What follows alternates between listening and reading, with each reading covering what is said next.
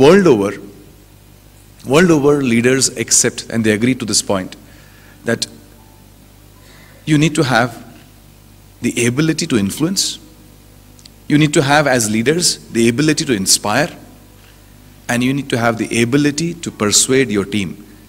IIP. You need to inspire, ability to inspire, ability to somewhere make sure that you, you persuade them for something big, and your ability to influence. So you have a team with you, you have got to influence them on certain values which you have with you in your organization. And if a newcomer comes in, your influence should be such that he adopts, adopts your core values. The influence should be such of you as a leader. You have a purpose, you have a goal to achieve. Can you persuade that person to chase that meaningful goal? As a leader, that's your responsibility. And in the persuading of this goal इस vision के पीछे भागेगा, कहीं हताश होगा, कहीं थकेगा, कहीं पर डिजेक्शन आएगा लाइफ में somewhere you got to inspire him